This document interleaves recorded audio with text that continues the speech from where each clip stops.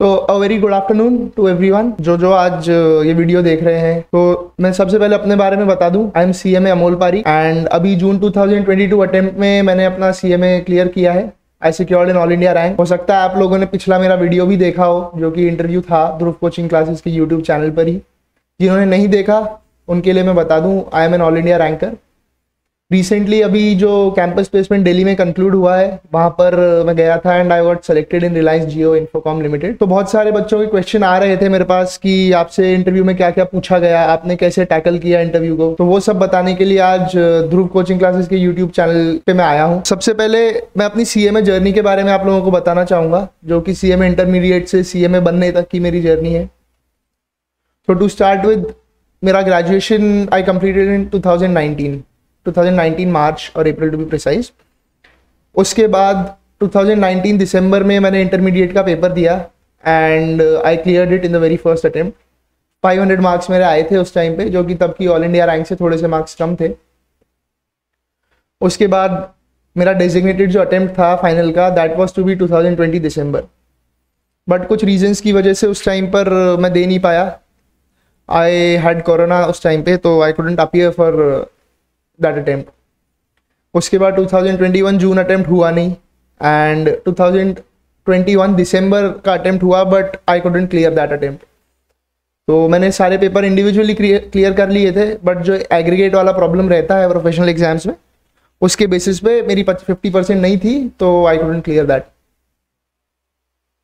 उसके बाद cut to June 2022 वो अटेम्प्ट मैंने दिया? बेसिकली जो भी ढंग से पढ़ के दिया आप ढंग से पढ़ाई में आप सोच सकते हैं स्कैनर वर्कबुक्स एंड मॉड्यूल उसके अलावा मैंने कुछ ज़्यादा नहीं किया। जो क्वेश्चन बैंक या डीसीसी से मिलते थे, उनको अच्छे से किया। तो I clear in June 2022 and I got an all India rank तो उसके बाद जो भी ये सब चालू हुआ, जहाँ हमें सीवी वगैरह अपलोड करना होता है साइट पे, ये सब तो स्टैंडर्ड प्रोसीजर है।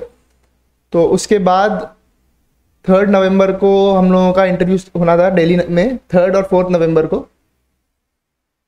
तो टू फर्स्टली ऐसा लग रहा था कि शॉर्ट लिस्टिंग सब में आ जाएगी क्योंकि अटेम्प्ट है येस बट एक ऑल इंडिया रैंक होने की वजह से ऐसा लगता है कि शॉर्ट लिस्टिंग सब में आ जाएगी और जो कि पास का ट्रेंड था भी। बट इस टाइम एक तो कैंपस में प्रॉब्लम ये रही कि पी नहीं आई।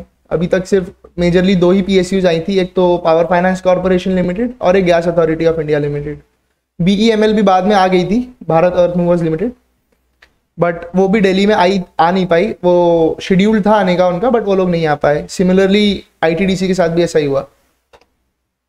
और पावर फाइनेंस ने तो short listing top ten rankers को करा पूरे इंडिया से. तो उसमें शॉर्ट लिस्टिंग नहीं आई.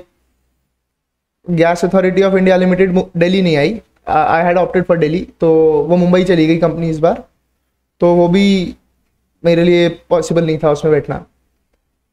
तो जो कंपनीज़ आई, उसमें पहले तो बहुत कम कंपनीज़ एडिड थी। तो I was talking with my friend तो ही वॉज़ ऑल्सो सेइंग यार, इस बार तो कंपनीज़ ही नहीं आई he is also an all India ranker so we are talking about it but we thought कि ठीक है let's have patience let's see क्या होता है। आज तक और कंपनीज़ आ जाएँगी।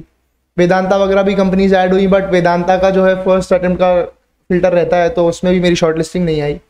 आई टी सी आई company I T C foods में मेरी शॉर्ट लिस्टिंग नहीं आई वापस बट आई टी एग्री जो इस बार आई थी कैंपस में डेली में उसमें मेरी शॉर्ट लिस्टिंग आई। एंड एंड तक ऐसी कंपनीज़ आ रही थी बट कई किसी कंपनी कोई अच्छा पैकेज ऑफ़र नहीं कर रही थी, या कुछ किसी की जॉब प्रोफ़ाइल अच्छी नहीं थी, या मेजरली शॉर्ट लिस्टिंग नहीं आ रही थी। इस बार शॉर्ट लिस्टिंग का बेसिकली सबको ऐसा लग रहा था कि थोड़ा अलग तरीके से शॉर्ट लिस्टिंग हुई है, जैसे हर बार होती है उससे but then it is not in our hands एकदम लास्ट मोमेंट पे like to like I think दो दिन पहले कैंपस से रिलायंस जियो ऐड हुई उसमें लिस्ट में कंपनी एंड शॉर्ट लिस्टिंग आई एक्चुअली मेरे friend my friend Mohit he told me कि तेरी जियो में शॉर्ट लिस्टिंग आ गई है। तो Jio had initially short listed twenty two people और हमें उसका तब तक जॉब uh, डिस्क्रिप्शन और पे या C T C whatever you may call it तब तक हमें नहीं पता चला था। And till the very last day हम लोगों को नहीं पता था। सो so लाइक like, आपकी अंडरस्टैंडिंग के लिए आई टेल यू कि कंपनीज़ जब आती हैं तो उनको पहले ही डिवाइड कर दिया जाता है कि एक uh, कुछ पर्टिकुलर कंपनीज़ फ़र्स्ट डे आएँगी बाकी सेकेंड डे पे आएगी। तो फ़र्स्ट डे पे हमारे जो जो कंपनीज़ थी, उसमें Vedanta was one power finance was one Reliance Jio was there and I T C foods was there but I T C foods किसी रीजन से उस दिन पैनल उनका आया नहीं। तो जियो का पैनल आना था I was there from the morning itself Jio का पैनल भी थोड़ा लेट आया। But we are twenty two people short listed by Jio तो हम लोगों ने जाके यहाँ पे प्लेसमेंट कोऑर्डिनेटर से बात करी कि मैम अभी तक कोई भी हमें जॉब डिस्क्रिप्शन वगैरह दिया नहीं गया है इसका। तो she told us that the package they are offering is somewhere above ten itself तो then we are okay with that because campus का एक रूल है, अगर आपका किसी कंपनी में सिलेक्शन हो जाता है तो आप बाकी कंपनीज़ में नहीं बैठ सकते। तो we are apprehensive about that इसलिए हम लोगों को पूछना ज़रूरी था। बट वेन दैट हैपेंड तो थोड़ा कंफ्यूजन क्रिएट हो गया था तो जब जियो का पैनल आया तो तीन लोग थे उस पैनल में। तो उन लोगों ने सबसे पहले एक प्रेजेंटेशन ली छोटी सी, जिसमें उन्होंने सब कुछ बताया, थोड़ा बहुत जॉब के बारे में बताया कंपनी का बैकग्राउंड दिया। They said that the C T C they'll give is ten and half plus anything above that will be the bonus element तो people people they are requested them जिनकी उस दिन एक भी शॉर्ट लिस्टिंग नहीं थी, या दोनों दिन जिनकी शॉर्ट लिस्टिंग नहीं आई थी, उन्होंने उनसे रिक्वेस्ट किया कि हम लोग भी वॉक इन इंटरव्यू दे सकते हैं क्या? तो दे सेड कि what we are looking for is basically smart people and people with good communication क्योंकि हमें ऐसे लोग चाहिए जिनको हम सिखा सकें। हमें नहीं फ़र्क पड़ता आप लोगों के मार्क्स कितने आए। तो they they made it a walk in interview at the end तो from twenty two people short listed around fifty fifty five people at least appear for the interview उन्होंने पहले ही क्लियर कर दिया था कि उन्हें एक ही जना चाहिए उस पोस्ट के लिए। तो luckily I was the one who selected अच्छा एक सबसे important question about the interview की क्या क्या पूछा? तो जियो का interview was very precise as this said earlier कि हमें नहीं मतलब आपको कितना टेक्निकल आता है या कितने आपके मार्क्स हैं। So they are basically focusing on the candidate itself ज़्यादातर लोगों से उन्होंने से उन्होंने बस यही पूछा है कि जो मोस्ट बेसिक क्वेश्चन है इंटरव्यू का talk tell me about yourself so when they thought that they can take interest in a particular candidate, they carried the interview, otherwise they just left it there. तो अच्छा मेरे से क्या क्या question पूछे गए? First it was about tell me about yourself उसके बाद because I have always been into sports and everything तो and I have uh, led my teams at various occasions.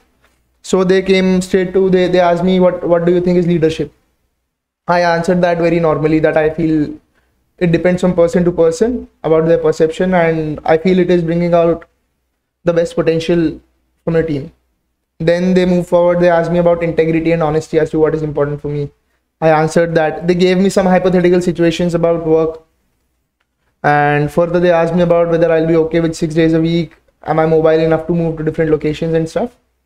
So it was yeah, it was a very basic interview. ऐसा कुछ नहीं था जिससे आपको डरना हो या ऐसा कुछ So and they conducted around 55 interviews, I think. हाँ, I, I feel they conducted this much interviews.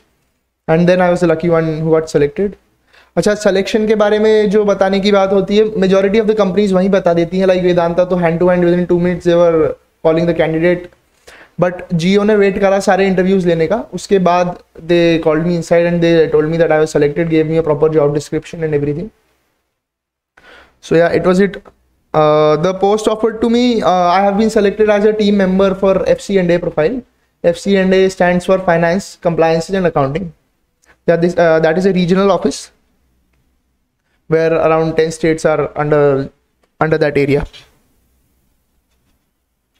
बाकी कैंपस के प्रोसेस की बात करें तो थोड़ा बहुत वहाँ पर प्रॉब्लम होती है but placement coordinators are there आप उनसे कांटेक्ट कर सकते हो।